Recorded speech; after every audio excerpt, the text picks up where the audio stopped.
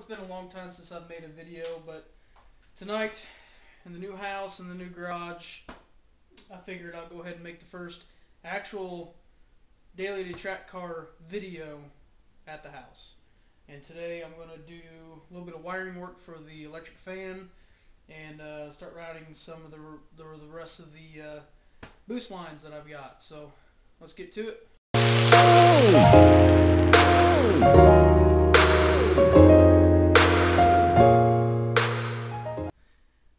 Be Mrs. TT Boosted, which haven't actually revealed that yet.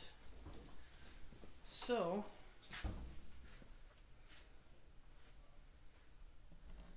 there's the reveal. We have a date set for uh, two and a half years from now, so definitely excited about that. She's actually uh, Looking at cakes. looking at cakes and decorations and stuff. So, I haven't showed you guys the new lighting. Bought some new LED lights.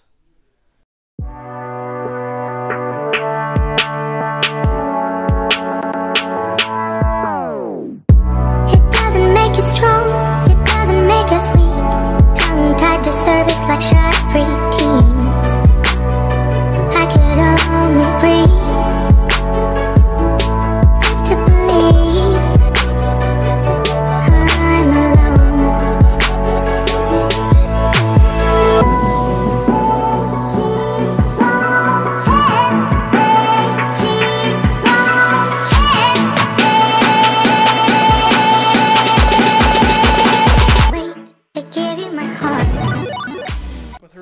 I got these wires ran through the firewall, and, uh, I just need to figure out how I'm going to route them through all this wiring down through around into this harness here and then uh, up to the new auxiliary fan and then I'm gonna run them I'm just gonna run them off of a switch inside.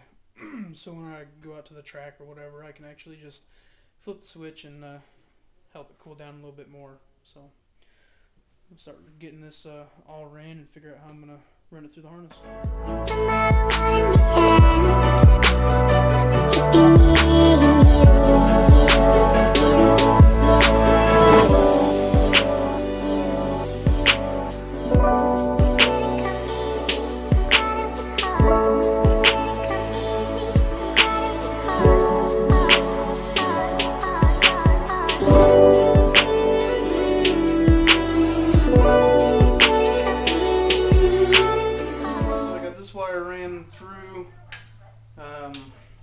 on figuring out what direction, what polarity I need to run this fan to get it to push through to help cool it down. So I'm gonna use the vape trick.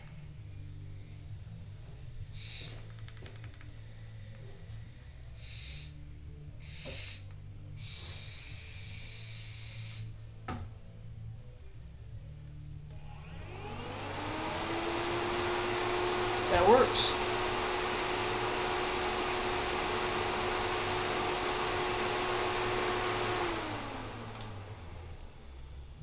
So now I know I need to run blue positive, black negative.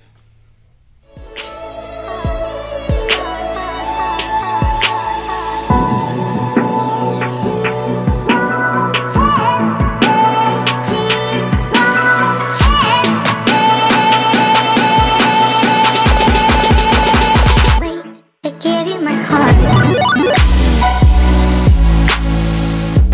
Alright, so you can see that I uh, got all ran to the factory harness and I can get this all tucked away all nice and neat now.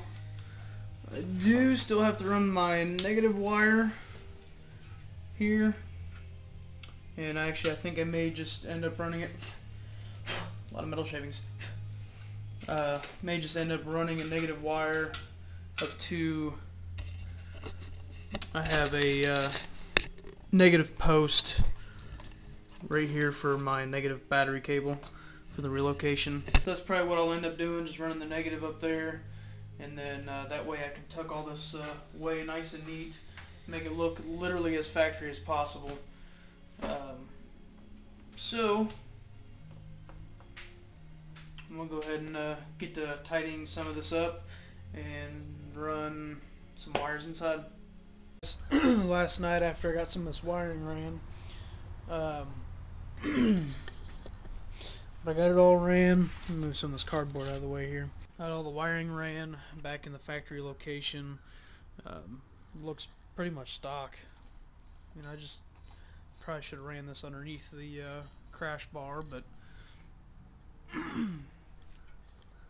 got that all ran, and then uh, this morning, you guys remember I actually had uh, this pipe here running up from the uh, turbo inlet. So what I actually did, I cut a uh, steel piece of pipe at a 90, and then put a uh, 90 coupler on there. goes perfectly to the mass airflow sensor.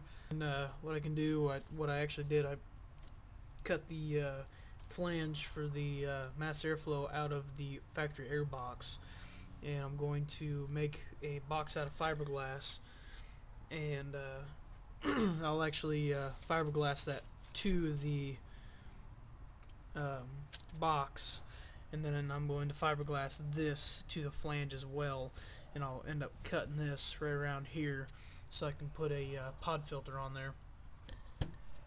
So basically the box is going to be set up pretty similar to that.